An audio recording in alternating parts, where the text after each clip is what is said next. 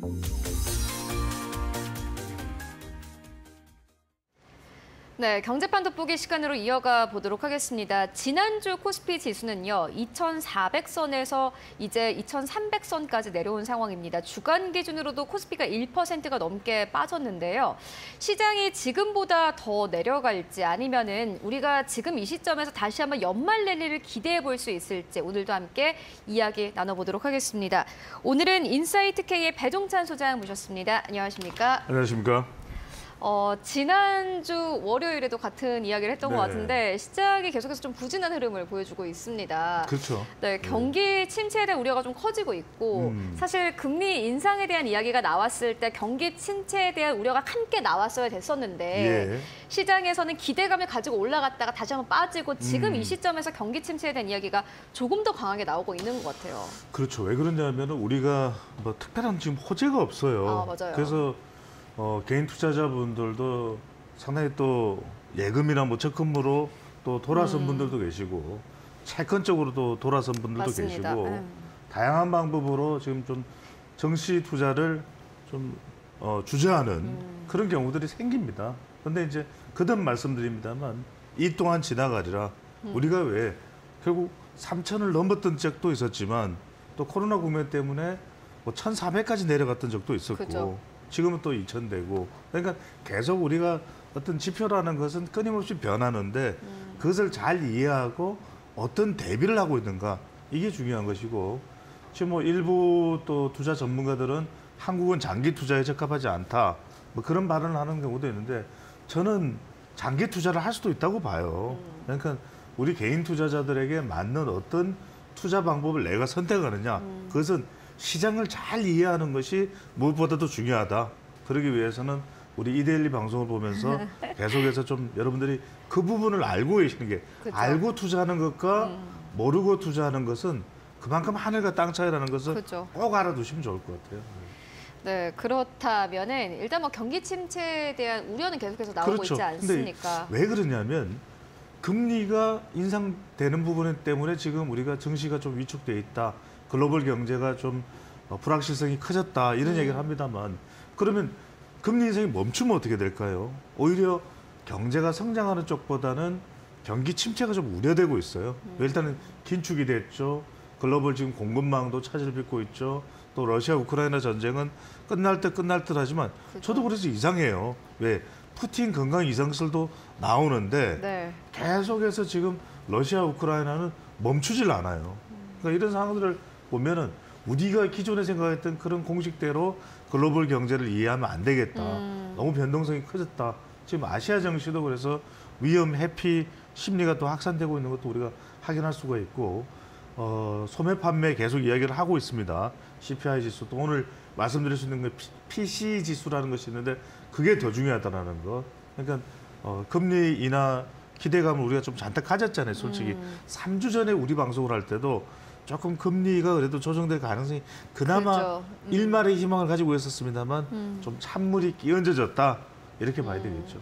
결국에는 이 경기 침체 강도의 음. 시장에서는 가장 주목을 하고 있습니다. 약한 경기 침체면은 예. 시장에서 예상했던 것보단 또 괜찮게 또 음. 시장이 또 넘어갈 것이고 그런데 생각 외로 경기 침체가 너무 강하거나 길어지면은 그건 또 시장에 엄청난 부담이다라고 그렇죠. 이야기를 하시는 분들이 많은데 음. 이걸 보니까는 의견이 정말 정반대로 갈리는 것 예. 같아요. 어떻게 보시나요? 저는 조금 더 갈 것 같아요. 음. 왜냐하면 원래 이 제롬 파월 연준 의장은 매파가 아니에요. 비둘기파였어요.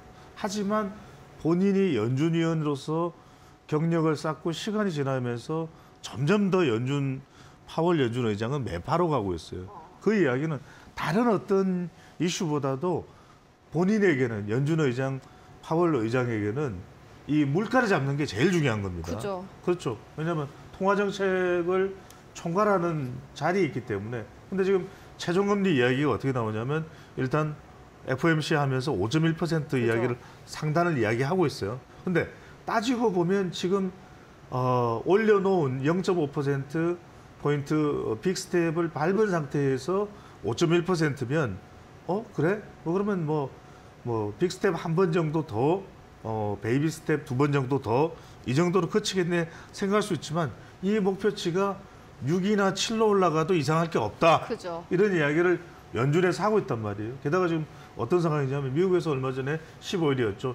2조 6천억 달러 어, 이 지수 옵션이 만기가 되니까 벌써 불안해진단 말이에요. 시, 시장은. 그 여기서 이제 연관되고 파생된다고 봐야 되겠죠.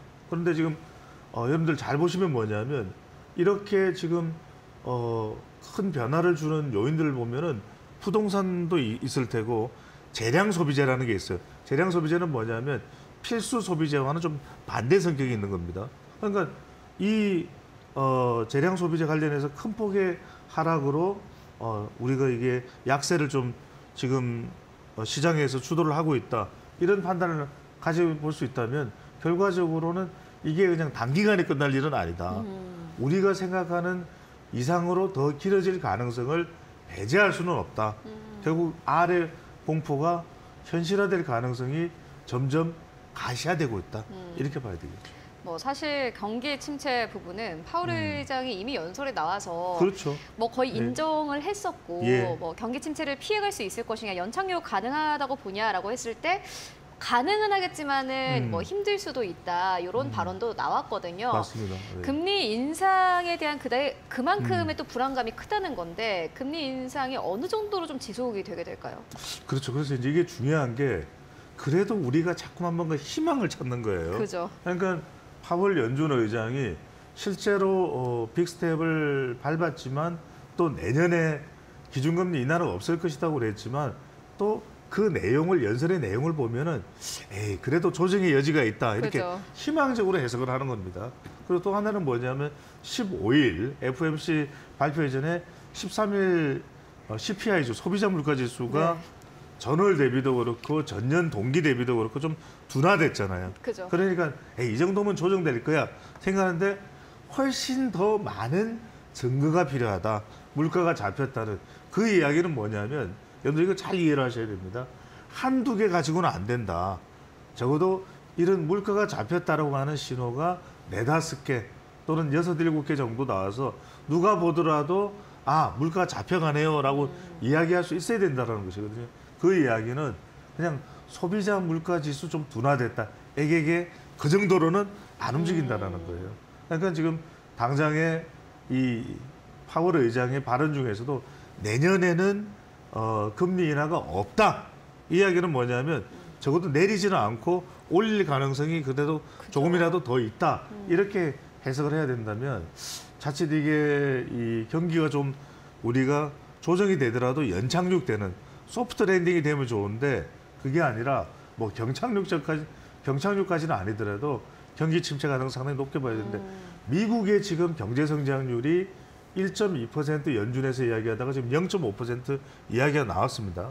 지금 우리도 어, 국책 연구기관에 따라서 좀 다르긴 합니다만 BNK 경제연구소의 전망치는 이 1.6 우리가 1.7이에요. 우리 경제가 지금 동남권의 부산, 울산, 경남 같은 경우에는 1.6 정도 성장률이 나옵니다. 이건 상당히 어, 이제는 우리가 성장세가 둔화된다. 내년은 이렇게 봐야 되겠죠. 참 성장이 둔화가 된다는 것은 음. 시장에서 그만큼 좀 부담으로 느껴질 수밖에 없는 상황이고 예. 보니까 지난 주말 사이에 또 IMF 측에서 한국의 경우에는 부동산 가격 폭락 올 수 있다 음. 그렇죠. 이런 보고서를 또 내놓기도 했더라고요.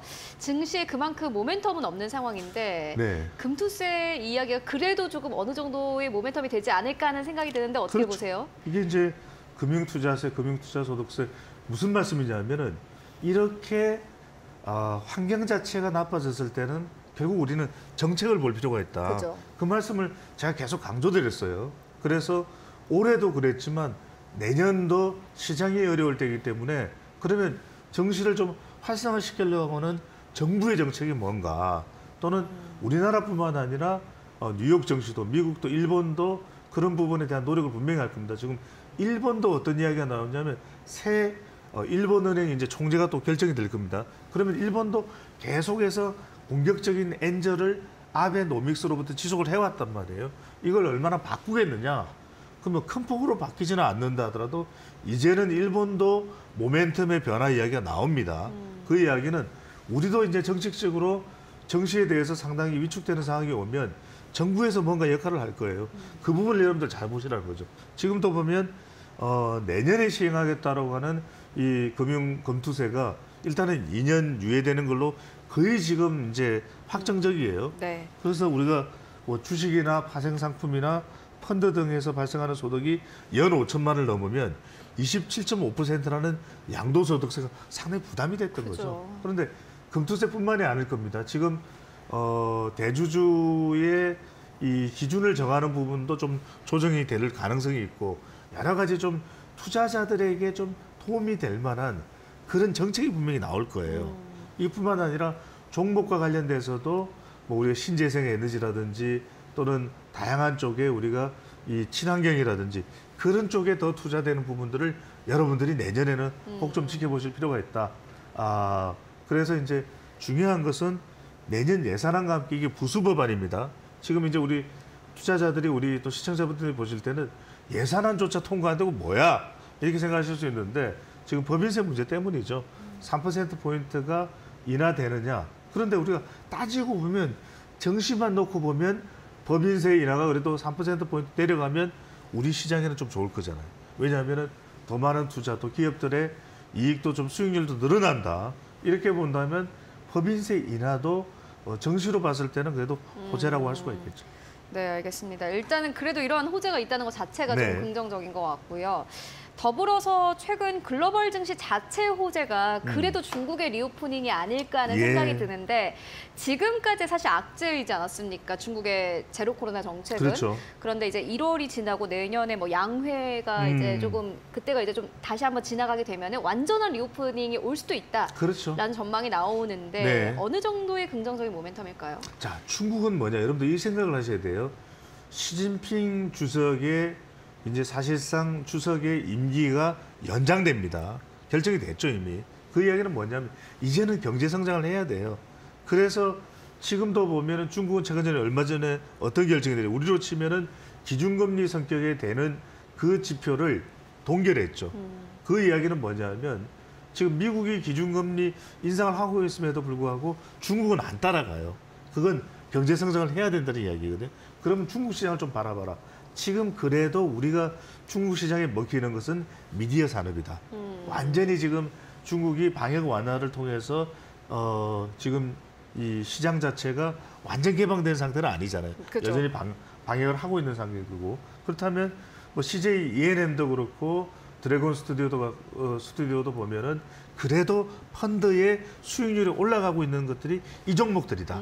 그렇게 보실 수가 있는 것이고 그 외에도 지금 중국의 이제 여행자들이 지금 일본에 국한돼 있는데 상당히 늘어날 수 있어요. 그죠. 그러면 여행과 면세점 기존에 침체되어 있었던 분야에 있어서만큼은 활짝 좀 우리가 어, 열릴 것이다.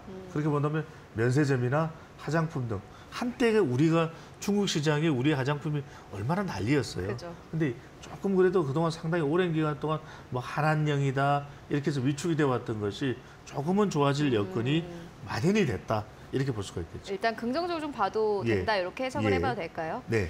그렇다면은 일단은 뭐 중국 이슈까지 함께 보고 왔고요. 이번 주에 이것 말고도 조금 경제 지표를 잘 봐야 될 것 같아요. 특히나 경기 침체에 대한 우려가 나오고 있기 때문에 경제 지표 더 중요하거든요. 네, 그렇습니다. 지금 뭐 이번 주에 있을 만한 중요한 굵직굵직한 그런 지표들의 발표를 보면 21일 유로존 어, 12월 이제 소비자 신뢰 지수가 발표됩니다. 그러니까 네. 이제 유럽 시장도 좀 볼 수가 있죠. 우리가 미국 시장도 중요하지만 결국 러시아 우크라이나 사태 속에 지금 유럽의 상황은 어떤가? 프랑스도 있고 프랑스 국민들은 지금도 오늘 어, 우리 시간으로 새벽에 있었던 아깝게 또 준우승을 했잖아요. 은바페가 네. 그렇게 잘했음에도 불구하고 이것도 위축될 수가 있어요. 네. 네, 마크롱 대통령이 직접 가서 응원까지 했는데 어. 예, 아르헨티나가 하여튼 대단하긴 합니다. 자, 22일은 또 미국 3분기 국내 이 총생산 이 확정치가 나옵니다. 이것도 좀 볼 필요가 있고 그 다음에 우리는 어, 22일 날 같은 날 어, 11일 생산자 물가 지수가 나와요. 우리도 이거 잘 보셔야 됩니다. 과연 우리 물가는 어느 정도로 지금 치솟고 있는가 이걸 볼 수가 있는 것이 어, 11월 우리 생산자 물가 지수이기 때문에 이 부분을 잘 보셔야 돼요. 지금 우리 물가에 대해서는 우리가 자꾸 지금 연준 지표를 기준금리 인상도 그렇고 미국 지표를 계속 보기 때문에 자 미국은 어떤데 우리는 어떨까 하는데 우리 지표를 잘 못 찾아요. 음. 그런데 지금 우리 생산자 물가 지수 PPI를 보시면 과연 우리 물가도 지금 걱정됩니다. 그렇지 않습니까? 음. 지금 뭐 이제 사실상 식사 한 끼가 만 원대예요. 만 원이에요. 그러면은 우리 물가도 지금 상당히 올라가 있는 상태다. 그렇죠. 이 부분을 여러분들이 점검해 보실 필요가 있고 그다음에 중요한 지표는 이 지표입니다. 자, 11월 개인 소비 지출, 개인 소비 지출의 private consuming 익스펜디처 이 소비 지출 물가 지수 이게 왜 중요하냐? 연준은 CPI보다도 이 지수를 더 기준으로 봐요. 어. 그러니까 이 지수가 어떠냐에 따라서 연준이 기준금리 인상을 조정할 수도 있다. 이 지수를 잘 보셔야 돼요. 지금 예상치로는 조금 둔화된다는 이야기가 나옵니다. 그러면 이 지수까지 봤을 때는 23일 날 이 지수가 상당히 희망적이면 그러면 그래도 우리가 마지막 남은 주에 어, 좀 뉴욕 증시도 그렇고 우리 증시도 그렇고 조금 어, 상승할 수 있는 동력이 마련될 수 있다. 그리고 여러분들이 투자자들이 이 상황 속에서 뭐 호재는 없고 악점에서 절대 잊지 말아야 될 것이 삼저 전략이다. 삼저 전략. 첫 번째 저는 저평가된 종목에 여러분들이 좀 눈독을 들일 필요가 있고요. 두 번째로는 저가 매수를 하라. 음. 반드시 네. 저평가된 종목을 저가 매 마지막은 저수량. 우리가 주식이 광기에는 뭐 천주 뭐 오천주라면 이번에는 백주 오백주 정도 음. 그 전략을 어, 펼칠 필요가 있겠죠. 어, 앞서서 개인 소비 지출 물가 지수가 중요하다 네. 이렇게 말씀을 해주셨는데 요 지수가 또 중요한 이유가 있을까요? 더 그렇죠. 네, 어, 그렇죠. 왜냐하면 개인 소비 지출이기 때문에 일반적인 소비자 물가 지수보다는 개인의 이 물가와 관련된 동향들을 더 잘 파악할 수가 있죠. 음. 그러다 보니까 연준에서는 오히려 어, CPI 지수보다도 이 PCE 지수가 더 물가와 연동성이 높을 수 있다. 더 잘 파악을 할 수 있다라는 거기 때문에 23일 발표되는 PCE 지수를 좀 더 우리가 음. 눈여겨봐둘 필요가 있습니다. 어, 그렇다면은 일단 뭐 개인 소비가 네. 중요하다는 건데 앞서서 저희가 중국의 reopening에 대해서 음. 다루고 오지 않았습니까? 네. 그런데 최근 한국에서는 no mask 이제 마스크와 관련된 음. 해제 소식이 또 있습니다. 이것도 시장에 조금 긍정적인 뉴스가 될 수 있을까요? 그렇죠. 우리 아직 이제 실내 마스크를 어느 시점에 해제할지 여부는 완전 결정이 되지는 않았어요. 하지만 일단은 우리가 이제 마스크에 대한 두 가지 측면으로 보시면 될 것 같아요. 하나는 여전히 좀 실내 마스크까지 이 해제되는 것에 대해서는 조금 우려도 있습니다. 음. 왜냐하면 이게 이제 대중교통이니까 버스 안에서는 뭐 기침을 하는 다른 성격에 대해서 어 이거, 이거 코로나 재감률이 어, 재감염률이 맞아요. 높은데 괜찮을까 이렇게 생각할 수도 있는데 또 하나는 뭐냐면 결국은 이제 마스크가 해제된다는 이야기는 좀 더 우리가 접촉이 활성이 되고 그동안엔 주로 비대면 위주였다면 이제는 대면 접촉을 통해서 어 뭐 상거래가 얼마든지 또 이루어질 수 있다는 음. 이야기거든. 그러면 그만큼 좀 이제 활성화되는 거죠. 그죠. 그 부분은 어, 실내 마스크까지 해제된다는 것은 좀 더 우리가 뭐 소비재라든지 또 백화점이라든지 이런 부분들이 좀 더 활성화된다. 어. 이런 신호로 봐도 좋겠죠. 네, 알겠습니다. 오늘 함께 경제 이야기 해보고 왔고요. 지금까지 인사이트 K의 배종찬 소장과 함께했습니다. 오늘도 고맙습니다. 감사합니다.